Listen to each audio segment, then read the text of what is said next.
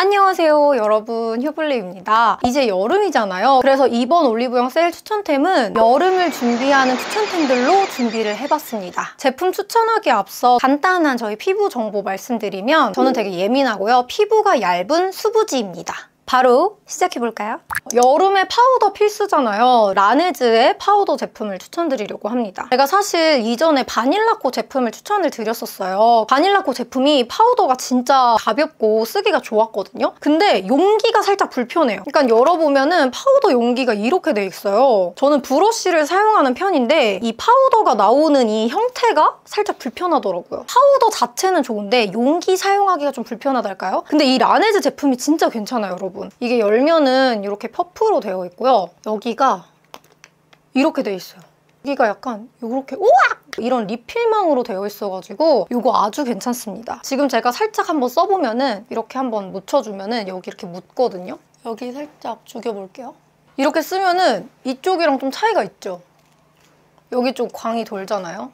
그래서 이거 진짜 가지고 다니면서 쓰기가 너무 좋더라고요. 그리고 파우더 같은 거 쓰면 뜰 수도 있잖아요. 이거 쓰면서 제가 메이크업이 너무 막 들떠 보이고 전혀 그런 느낌 안 들어서 엄청 잘 쓰고 있습니다. 텁텁해 보이는 느낌도 없어서 라네즈 파우더 완전 강추합니다. 그리고 여름을 준비하는데 선크림 빠질 수 없죠. 선크림을 되게 여러 개 테스트를 해봤어요. 다 약간 뭐 눈시림이 살짝 느껴진다든지 좀 사용감이 별로라든지 좀 퍽퍽하고 건조하다든지 뭐 이런 것들이 되게 많았는데 제가 본 거는 베이스 궁합이랑 수분 수분감, 피부에 사용했을 때 편안한 제품들로 가지고 왔어요. 이번에 넘버즈인에서 나온 일번 라인들이 다 저랑 너무 잘 맞더라고요. 이 선크림도 너무 잘 쓰고 있는데 이거 발림성이 너무 좋더라고요. 이게 대박인 게 이렇게 열어보면 입구가 이렇게 돼 있어요. 되게 신기하죠? 엄청 가볍습니다. 느껴지시나요? 되게 흐르듯이 발리잖아요. 근데 또 흡수력도 너무 좋아요.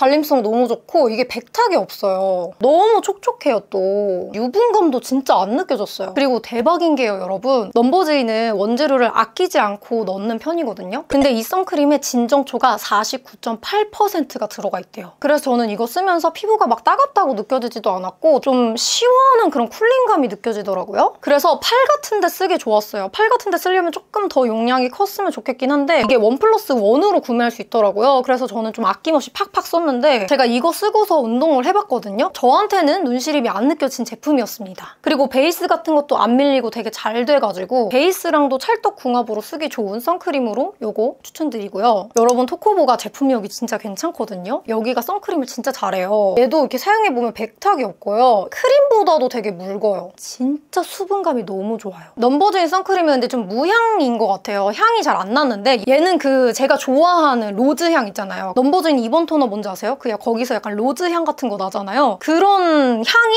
이 선크림에서 나요. 저는 사실 그 향 되게 좋아하거든요, 로즈 향. 메이크업 뜨는 거 없이 쓰기 좋았고요. 이 제품에는 이제 녹두 추출물이 들어가 있대요. 그래서 영양 공급까지 해줄 수 있습니다. 이제 때처럼 밀리는 현상 없고 되게 흡수력이 좋고 가볍게 쓰기 좋아서 이 토코보 선크림도 추천드리고 싶어요. 사용감이 진짜 너무 좋더라고요. 그리고 여름에 땀도 많이 나고 태양열이 너무 뜨겁고 이러면 두피가 좀 빨리 기름지잖아요. 그래서 저는 항상 여름에 이거를 사용을 해주고 있습니다. 이 헤어 식초 쓰고 안 쓰고 굉장히 차이가 있어요. 저는 얘를 그래서 여름에 무조건 쓰는데 두피 클렌징, 노폐물 제거에 아주 좋습니다. 샴푸를 해준 다음에 이 헤어 식초를 두피에다가 이렇게 뿌려주세요.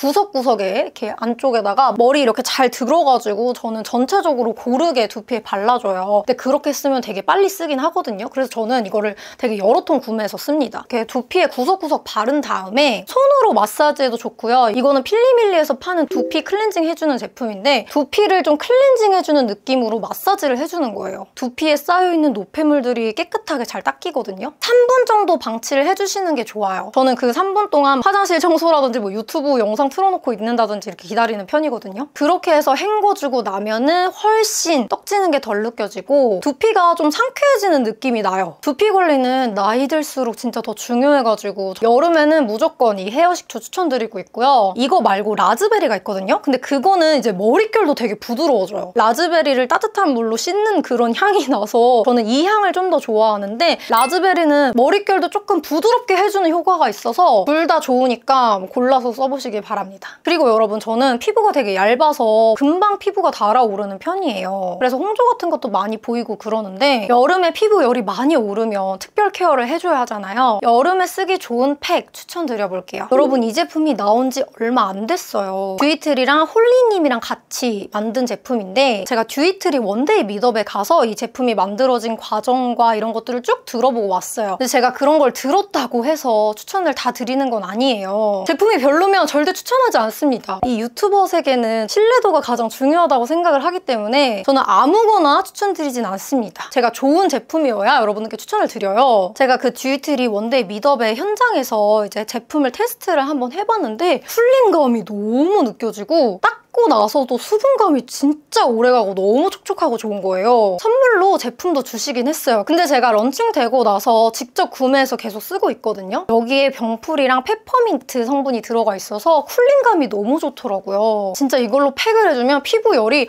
확 식는 게 느껴질 정도였어요. 운동하고 막 이렇게 열이 올랐을 때 쓰기에도 되게 좋겠다라는 생각을 했고요. 그러면 이게 단순히 진정만 도와주는 그런 팩이냐? 그건 또 아닌 게 여름에 특히 모공이 많이 열리잖아요. 얘가 젤 모공팩이에요. 근데 모공팩 제품은 보통 클레이 제형이 많아요. 바르고 시간이 지나면 좀 건조하게 마르는 그런 제형들이 많은데 얘는 여러분 진짜 다른 게 젤 제형이에요. 이렇게. 이 제형 잡는 게 진짜 어려웠다고 해요. 그래서 얘가 진짜 촉촉해서 30분이 지나도 안 마르더라고요. 이게 가끔 말라서 건조해지면 세수할 때도 잘 안 씻기잖아요. 근데 얘는 진짜 계속 촉촉해져 있고 너무 좋더라고요. 씻고 나면 피부가 싹 진정돼 있고 결 케어까지 돼서 되게 부들부들하고요. 이게 또 모공팩이니까 모공 케어, 피지 케어까지 하면 일석 몇 조인 거죠? 그래서 여러분 이 제품은 여름에 여러분들이 좀 열감이 많이 오르고 붉은기가 좀 심하신 분들 진정 케어, 모공 케어, 결 케어, 피지 케어까지 해주고 싶으신 분들은 이거 한번 써보셨으면 좋겠습니다. 진짜 좋아요. 다음은 여러분 모델링 마스크 팩이에요. 이게 이번에 올리브영에 들어왔더라고요. 일반 시트 마스크보다 모델링 마스크팩이 더 좋은 건 알고 계시죠? 얘가 쿠팡에서도 팔긴 팔아요. 비교해보고 더 싼 데서 사는 걸 추천을 드리고요. 1kg짜리로 나온 것도 있어요. 이제 처음 입문하시는 분들은 낱개로 한번 써보시는 걸 추천을 드립니다. 안 맞을 수도 있으니까. 여름에 쓰기 좋은 제품은 쿨 티 트리가 쿨링이랑 진정, 모공 케어를 도와주고요. 진정 약초가 열감 케어랑 진정 보습에 도움을 줘요. 저는 이제 피부가 얇아서 콜라겐 제품의 크림이나 세럼 같은 걸 잘 못 쓰는 편이거든요. 그래서 마스크팩 같은 걸로 해주는데 이런 모델링 마스크팩으로 써주고 있어요. 여름에도 탄력 관리를 좀 해줘야 하거든요. 얘가 또 3,000원에 팔아요. 이 도구들을. 그래가지고 이거 부어서 물로 조금 개준 다음에 저는 이런 세럼이나 앰플을 몇 방울씩 섞어서 사용을 해주고 있습니다. 근데 진짜 모델링 팩 써주면 피부가 진짜 절여진 느낌. 관리받은 피부처럼 해줄 수 있어서 중요한 날 전에는 이 모델링 팩으로 관리해주시는 걸 추천드려요. 다음은 이제 향 제품입니다. 저만 그런지 모르겠는데 여름에 이제 땀도 나고 나한테서 냄새 나지 않을까 하는 마음에 저는 향 제품을 겨울보다 여름에 더 잘 쓰는 것 같아요. 이거 제가 이번에 구매해봤거든요. 이게 3개 세트로 되어 있고 거의 하나당 5,000원 꼴로 구매를 했는데 저렴하게 쓰기 좋은 그런 perfume 크림인 것 같아요. 보통 향 제품이 좀 가격대가 있잖아요. 얘는 좀 저렴하고 좀 다양한 향을 쓸 수 있다는 점이 장점입니다. 단점은 지속력이 정말 약해요. 한두 시간 안에 그 향이 좀 다 날아가는 느낌? 지속력은 아쉽지만 좀 가성비로 쓰기 좋은 그런 perfume 크림인 것 같고 근데 지속력이 안 좋은데도 얘를 되게 잘 쓰는 게 그 가방에 넣어놓고 다니면서 뭔가 내가 좀 급하게 나에게 좀 향기가 지금 좀 뿜뿜해야 돼 할 때 팔꿈치라든지 저는 얘를 막 저 쇄골 같은 데도 바르고 그냥 내가 바를 수 있는 부위에다 바를 수 있는 게 장점이거든요. 저는 로즈향 덕후여서 당연히 이 롤리 로즈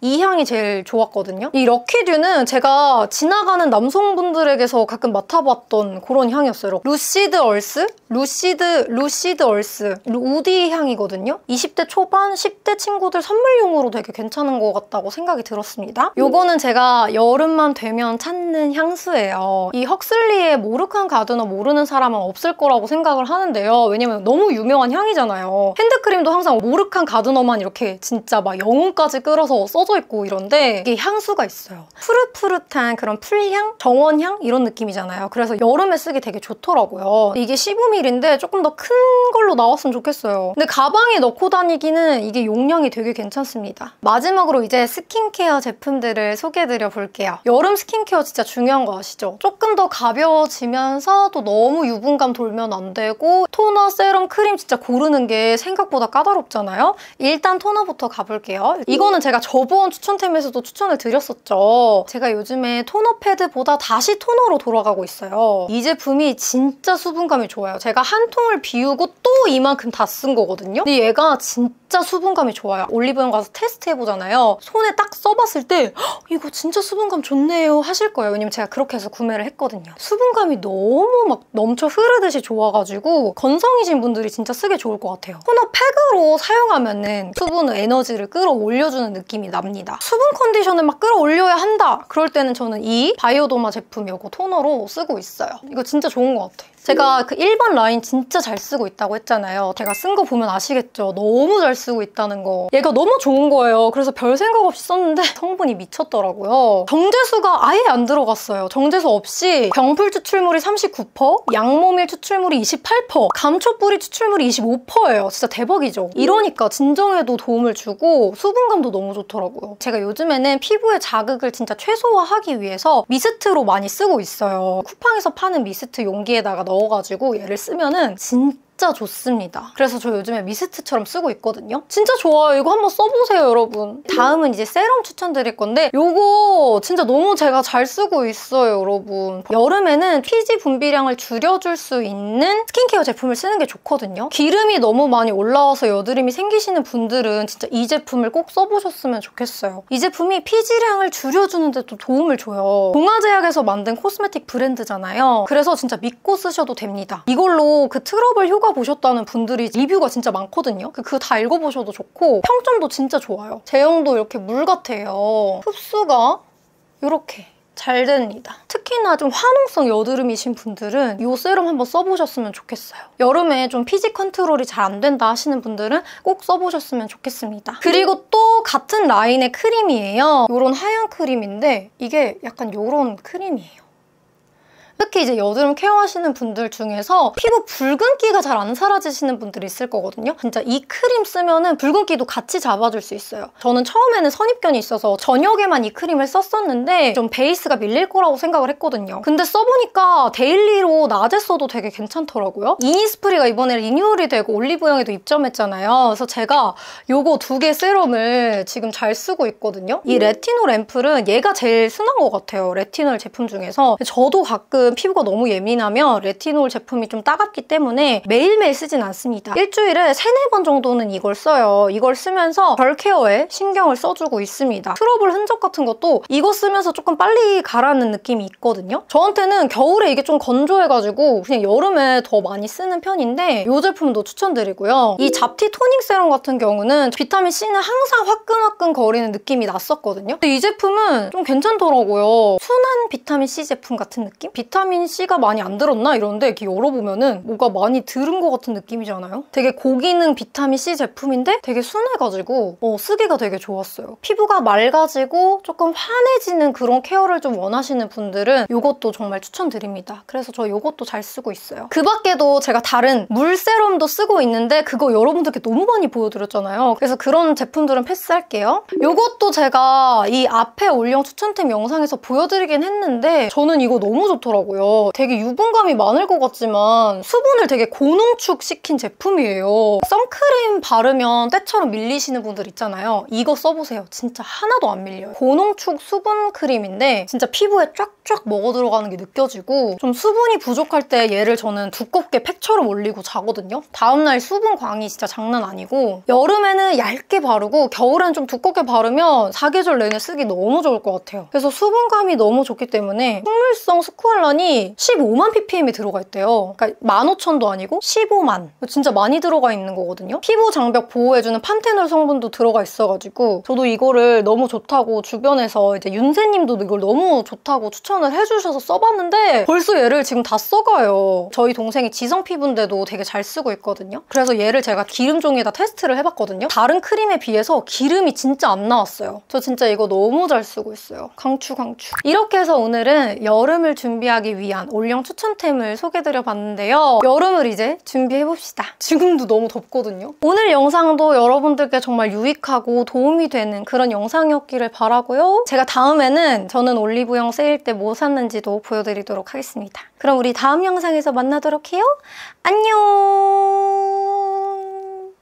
오늘 메이크업 궁금하신 분들도 있을 것 같은데 베이스로는 저는 힌스 쿠션을 사용했어요. 힌스의 세컨 스킨 메쉬 매트 쿠션 17호 포슬린을 사용을 했고요. 블러셔는 VD의 블러셔 7호를 사용을 해줬습니다. 립은 제가 이렇게 두 개 섞어서 사용해줬는데 펀치를 베이스로 사용을 하고요. 6호 디어를 그 위에다 살짝 얹어줬어요. 얘가 베이스, 얘가 포인트. 그리고 아이 메이크업은 이거 썼습니다. 롬앤의 베어 레이어 팔레트 애프리콧 무드. 애교살 글리터는 이거 썼어요. 메이크업 정보까지 끝!